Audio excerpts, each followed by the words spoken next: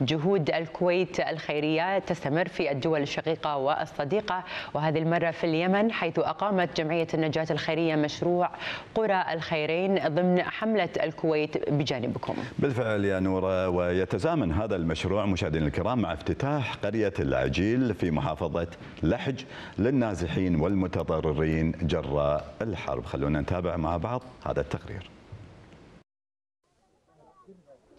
ضمن حملة الكويت بجانبكم وبحضور وفد من جمعية النجاة الخيرية بدولة الكويت تم افتتاح مشروع قرى الخيرين وهي عبارة عن ثلاث قرى سكنية لإيواء النازحين بمحافظة لحج حيث تتكون من تسعين وحدة سكنية بالإضافة لمسجد وفصول دراسية وإنشاء مشروع مياه لخدمة النازحين والذي يأتي بتمويل من جمعية النجاة الخيرية وبتنفيذ من مؤسسة ينابيع الخير.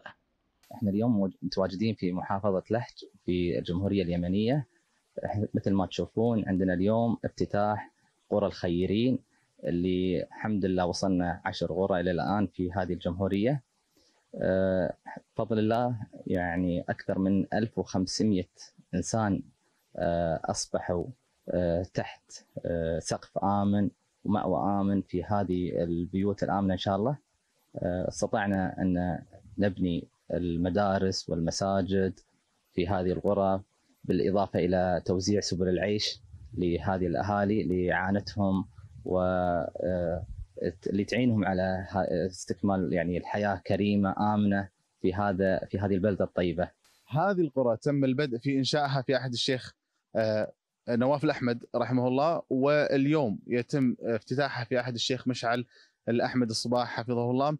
هذا يؤكد لنا استمرار الكويت في مسيرتها الإنسانية لإخوانها في اليمن وفي غيرها من الدول. ودائما نذكر أن الكويت بجانبكم أميرا وحكومة وشعبا. يتزامن ذلك. مع تدشين دولة الكويت افتتاح قرية العجيل في محافظة لحج للنازحين والمتضررين من جراء الحرب والتي تتكون من 59 وحدة سكنية مجهزة بكل ما يلزم من أنظمة طاقة شمسية وتمديد شبكات مياه للقرية وكذا بناء مسجد ومركز صحي. الحمد لله بفضل الله سبحانه وتعالى. اليوم رأينا أن أنجزنا 59 منزل ل 59 عائلة. كذلك أنجزنا افتتاح المركز الصحي للمساهمة بالعلاج والتطعيمات والوقاية من الأمراض. كذلك افتتحنا المدرسة والفصول التعليمية تظل دولة الكويت باسطة ذراعيها لليمنيين في مختلف المجالات ولا تدخر جهدا إلا وتبذله في سبيل دعمهم والتخفيف عنهم عبر تقديم الدعم الإنساني لهم. تتحرك دولة الكويت بكل ثقلها الإنساني خاصة في قطاع الإسكان والإيواء. الأمر الذي يبدو واضحا مع تدشين جمعية النجاة الخيرية الكويتية لعدد من المساكن في قرى الخيرين هنا في محافظة لحج.